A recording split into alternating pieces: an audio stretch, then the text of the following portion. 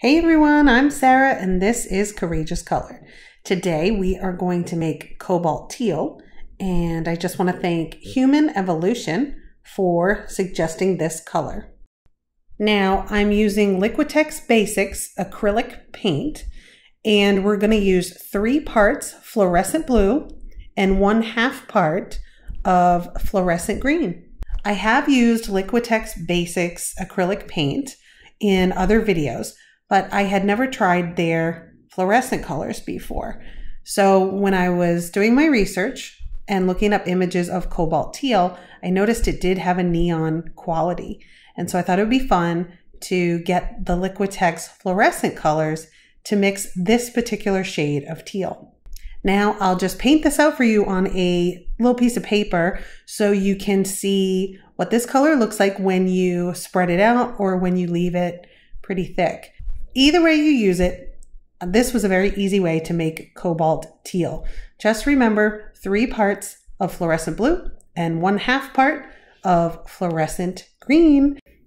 Thanks again to Human Evolution for suggesting that we make cobalt teal. As always, please give this video a thumbs up and make sure that you subscribe to Courageous Color for more color mixing videos. Bye for now. I want to invite you to check out my color mixing book. Here's a quick preview of the basics of color mixing, written and illustrated by me, Sarah Claire.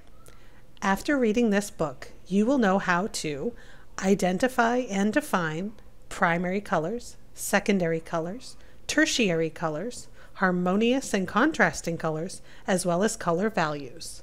You will learn how to mix secondary colors using primary colors, how to mix tertiary colors using primary and secondary colors, also how to mix or avoid mixing contrasting colors, how to mix various color values using equal parts or percentages, and how to make pastel colors and shadow colors. This book is available as an ebook for just $3.99 and in paperback. Just click on the link at the top of the description, and that will take you to the Amazon page where you can read more.